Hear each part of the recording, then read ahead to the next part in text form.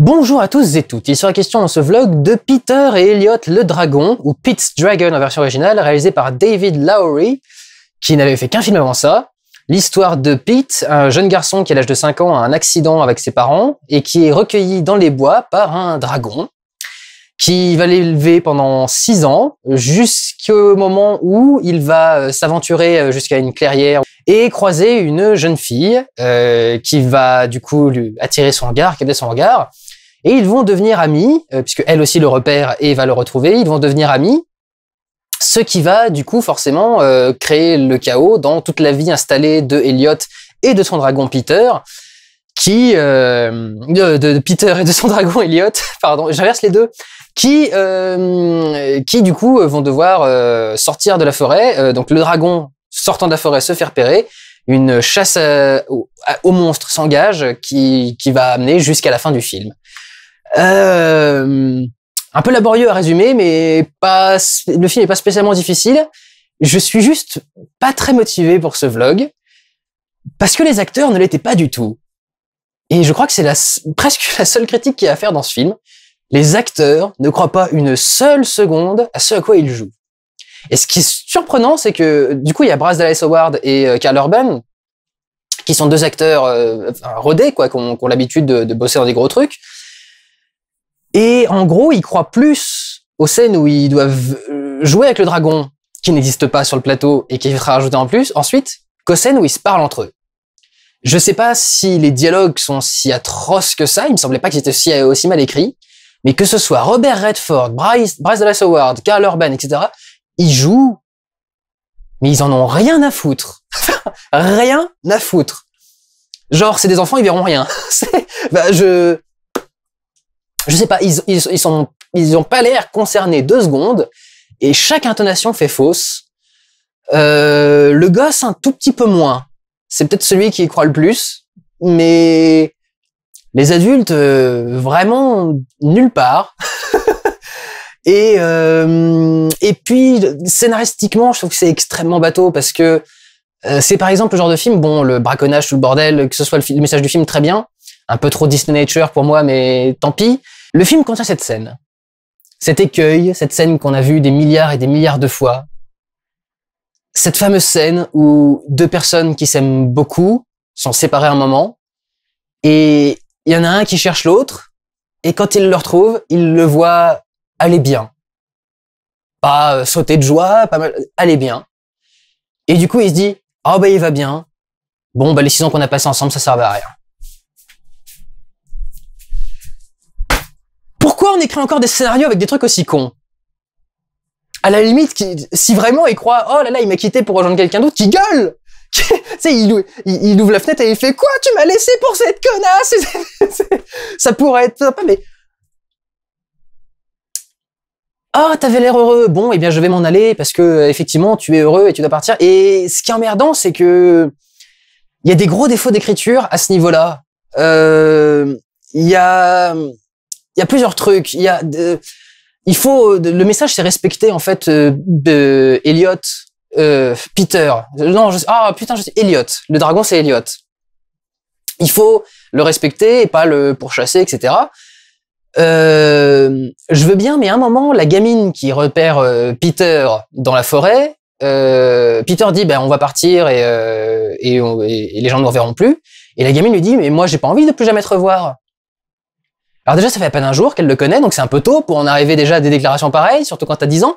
Mais euh, du coup, elle fait ce qu'elle dénonce. C'est marrant, c'est le même défaut que j'ai reproché à Zootopie. Elle fait ce qu'elle dénonce, c'est-à-dire que elle dit qu'il faut laisser, en gros, les choses se faire telles qu'elles telles qu'elles ont envie de se faire entre guillemets. il faut laisser les gens faire ce qu'ils ont envie de faire. Si on peut essayer de faire un message de façon un peu ouverte. Et du coup, en disant ça, elle retient Peter. Elle, euh, elle l'empêche de partir. C'est euh, ah oui, toi tu veux partir, mais moi j'ai pas envie que tu partes. Et c'est un peu la même chose que le braconnier, le braconnier qui voit le dragon et qui fait quoi T'as envie d'aller te cacher dans ton trou? Mais moi j'ai pas envie d'être dans ton trou. Je vais te sortir et puis je vais t'exposer devant tout le monde et puis j'ai machin. Et c'est la même chose que la fille demande à, à Peter. Donc ça m'énerve. Et le deuxième truc qui m'énerve, c'est à la fin, sans vous spoiler vraiment ce qui se passe, Mais évidemment, il y a un danger, puisqu'on est au climax, donc il y a un danger quelconque. Et euh, Peter s'approche de... Ah, je vais révéler quelque chose. Normalement, si je, je résume ça, je... Peter s'approche d'Eliot et lui dit « Fais pas ça, j'ai besoin d'eux. » Tu n'as pas besoin d'eux. Pourquoi t'aurais besoin d'eux? Ce gosse a passé une journée en dehors de sa forêt. Il a rien découvert de génial. Il a vu un ballon, ça lui a fait peur. Il arrive à l'hôpital, ça n'a pas eu l'heure de le déranger. Alors il est, par- il a sorti de la société à 5 ans. Il est sorti du monde civil à 5 ans. Quand il y revient, on a l'impression qu'il a jamais connu ça. Euh, en principe, à 5 ans, tu sais à peu près ce qui t'entoure. T'es pas très conscient, mais tu sais à peu près ce qui t'entoure. Bon, il a pas l'air non plus terrassé par l'hôpital, donc effectivement, il a l'air de la connaître. Mais quand même. Et euh, ils ont, il a, la famille lui a rien fait de spécial. Et le plus fort qui se soit passé, c'est qu'à un moment, il était dans un canapé à quatre et il racontait une histoire. Mais il vient de sortir de sa forêt, c'est les premières personnes qui croisent, elles ont gagné sa confiance en deux heures maximum. Au bout d'une journée, il est déjà en train de courir vers eux pour aller dans leurs bras. Vous avez fait un scénario d'enfant sauvage. Vous avez décidé de refaire le livre de la jungle. Ce qui est débile, vous venez d'en sortir un il y a trois mois. Et c'est Disney. Mais vous venez de, vous refaites un enfant sauvage et vous le faites qui vraiment en, ouais, 24 heures et totalement réadapté à la vie sociale et euh, déjà complètement en amour de Bryce, de Bryce Dallas Howard. Et donc lui fonce dans ses bras et tout. Et, enfin, il est pas crédible deux secondes, ce truc. Je, je- c'est un peu toujours le problème, le même, le défaut que j'ai eu avec Disney. Disney a toujours montré un truc en me disant que ça devait être bien. Et le film m'a jamais expliqué pourquoi ça devait être bien. C'est vraiment un truc qui manque toujours pour moi dans les Disney. On y viendra un jour à Disney. Je sais toujours pas quand parce que plus il y a de films, plus c'est compliqué. Alors Disney, euh, mais la, la boîte, le studio Disney. Donc euh, c'est compliqué. Mais là vraiment, j'ai ce truc-là quoi. Je ne comprends pas pourquoi cet enfant doit se battre pour rester avec cette famille d'accueil. Il a même pas eu le temps de savoir ce que c'est qu'une famille d'accueil. Il a même pas eu le temps de découvrir quelque chose de plus que quand il était dans sa, dans sa grotte avec, euh, avec Elliot. Et manifestement, il a pas si peur que ça des humains non plus. Donc, est-ce que vraiment c'est un enfant sauvage? Pourquoi est-ce qu'il qu'il s'en éloigne à ce point? Euh, Il sort de sa, de sa forêt parce qu'il a envie de baiser alors qu'il a 10 ans? Enfin, vous voyez ce que je veux dire? Hum. Il y a des trucs qui vont pas du tout dans ce film. Euh, la, la relation... euh, le personnage de euh, comment il s'appelle? Robert Redford joue dans ce film.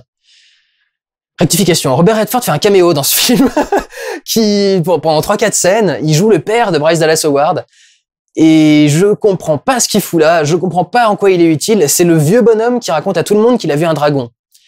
Et c'est pour ça que Bryce Dallas Howard croit Peter. Parce qu'on n'aurait pas pu faire en sorte qu'ils aillent juste dans la forêt et qu'ils croisent le dragon. Non, non, fallait qu'il y ait le grand-père, enfin le père, du coup, de Bryce Dallas Howard, qui soit là, qui ait déjà vu le dragon pour valider l'histoire de machin. C'est compliqué pour que dalle. Il y a une histoire de rivalerie entre deux fran- de rivalité, rivalerie, c'est en anglais. Entre, un anglicisme, entre deux frangins, qui ne sert à rien, qui n'est jamais expliqué et qui n'a aucun but. Vraiment, les deux frangins qui sont en, opposition, ça ne sert jamais à rien en climax. C'est juste qu'il y en a un qui est une fiotte et qui sait pas répondre à son frère, mais à part ça, il y a vraiment rien entre les deux frangins. Et à la fin, il est pas plus euh, résistant quoi que ce soit. C'est juste, euh, c'était une fiotte et il a jamais su rien dire à son frère. Et son frère, lui, a eu un, un parcours euh, psychologique par contre. Bizarrement, le méchant a eu plus de parcours que le gentil parce qu'il est un peu méchant le frère. Et ah, tout ça ne fonctionne pas. Tout ça est vraiment pas très crédible. Euh, Il y a un truc avec Bryce Dallas Howard qui doit se marier et pareil, c'est évoqué vite fait au début du film, mais ça n'a à aucun moment une intrigue ou un enjeu de quoi que ce soit. Je sais pas quoi dire. Et ce dragon est un putain de chat. Et pourquoi vous faites des trucs pareils? Déjà que la saga Dragon ait fait ça, j'ai pas compris parce que vous faites une saga entière qui s'appelle Dragon et vous les faites comporter comme des chats, je comprends pas. Mais là, c'est exactement pareil, c'est vraiment le chat. Comme un chat, quand vous courez, il court dans vos pattes. Bon, le problème c'est que là, le gamin qui court, il a 5 ans, donc euh, c'est le gamin qui court dans ses pattes, mais le dragon court autour de lui comme ça, vraiment dans ses pattes, et saute d'un coin à l'autre du, fossé ou un truc dans ce genre-là. Et euh, alors par contre, à un moment, ils ont décidé que c'était plus un chat mais un chien, et à un moment, il chasse sa propre queue.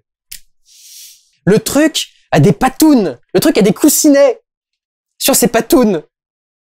Et, il a de la fourrure, c'est ça le truc. Alors, à la limite, vous voulez faire un dragon avec de la fourrure, si vous voulez, pour pas le faire euh, effrayant, mais vous lui donnez un comportement de chat, des coussinets et de la fourrure. Faites un chat géant Non mais sérieux, tant qu'on y est, faites un chat géant avec des ailes. C'est ce qu'ils ont fait dans... Euh, comment ça s'appelle? Merde. Euh...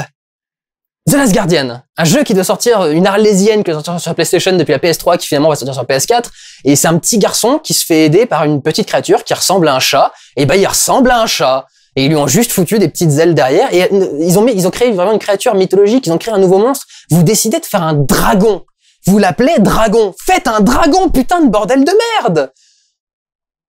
Pourquoi voulez vous copier sur un chat? Du coup, on sait ce que c'est. Alors du coup, ça nous paraît familier. Alors, c'est peut-être que vous voulez que ça paraisse familier, mais c'est pas un peu aberrant de faire un film avec un dragon pour que ça nous paraisse familier? Jouez sur le dragon. Vous êtes Disney, vous êtes censé être le pays du rêve. Faites-nous rêver avec une créature qu'on connaît pas. Enfin merde, quand on fait Max et les Maxi Monstres, c'est pas des chats. Quand on fait l'histoire sans fin, c'est pas des chats. Même Falcor, qui était un dragon porte-bonheur qui ressemblait comme deux gouttes d'eau à un labrador, il avait pas d'ailes, il était complètement allongé, c'était vraiment un dragon asiatique avec de la fourrure et des perles au milieu de sa fourrure. Enfin, un truc un peu de fantaisie quand même, merde. C'est un gros chat avec une fourrure verte.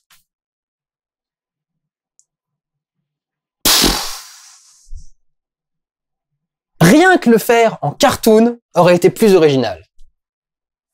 Comme dans le film d'origine, parce que c'est un remake. Si au cas où vous ne seriez pas au courant, c'est un remake d'un autre film qui n'avait pas du tout cette histoire-là. C'est pour ça que je dis, ils en ont fait un enfant sauvage, parce qu'à la base, ça devait pas du tout être un enfant sauvage, ça devait être un enfant qui était martyrisé par ses parents, qui fuyait, qui trouvait Elliot, et ils allaient tous les deux se réfugier dans un espèce de phare et ils affrontaient un méchant.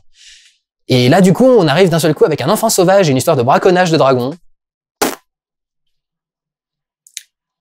Et vraiment, ils ne savent plus rien faire d'autre dans les films jeunesse que de l'écologie. Faut pas couper les arbres, faut pas tuer les animaux. Euh, vous voulez plus rien apprendre aux gosses, un peu de philosophie, un peu de comportement social, un peu de... Non, mais ils ont essayé avec Zootopie, ils l'ont mal fait. Alors quand même, pour mettre un petit mot au niveau de la réalisation, la réalisation est très bien faite, pour le coup, ça c'est bien fait. La 3D est excellente, et il y a énormément de plans aériens, parce qu'évidemment comme le dragon vole, donc il y a beaucoup de plans aériens, ou en hélico, en drone, je sais pas quoi, qui volent au-dessus des forêts, qui volent au-dessus des arbres, qui volent au-dessus des champs, et beaucoup de plans zénithaux, où ce sont des choses qui sont du coup vues du ciel. Euh, notamment, il y a un très beau plan euh, avec Elliot qui est vu du dessus, et qui, euh, je peux pas vous dire exactement où, mais sur une route. Il est vu du dessus sur une route et il y a la caméra qui, avance et le, plan est très joli. Et il y a beaucoup de plans comme ça qui sont très très beaux et qui marchent très bien. Et euh, il, y a, un plan magnifique quand il est dans la forêt. Quand il se perd au tout début, le gamin, donc il a 5 ans, il est minuscule. Et il est dans une forêt avec des arbres absolument immenses. Et il y a un très beau plan avec des arbres qui doivent être bi ou tricentenaires, qui font des mètres et des mètres et des mètres de haut.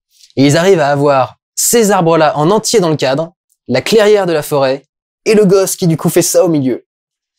Et là, pour le coup, la 3D, elle marche super bien. Et pour les gosses, je pense que ça doit avoir un côté très très effrayant comme, euh, façon de, de tourner le truc. Euh, J'y pense, mais quelque chose qui aurait pu sauver le BGG de Spielberg. Et pas finalement pas tant de gros plans très très larges que ça avec elle. Donc euh, difficile d'établir les proportions et vraiment faire rêver. Euh, voilà. Même si on était de son point de vue à elle. Voilà, voilà. Bon, bref, euh, Peter Elliot Dragon, c'est non, et les acteurs aussi, les acteurs n'y croient pas. Donc, euh, donc voilà, je vous encourage pas à aller voir Peter Elliot Dragon. Prenez soin de vous, allez voir des films. Ciao.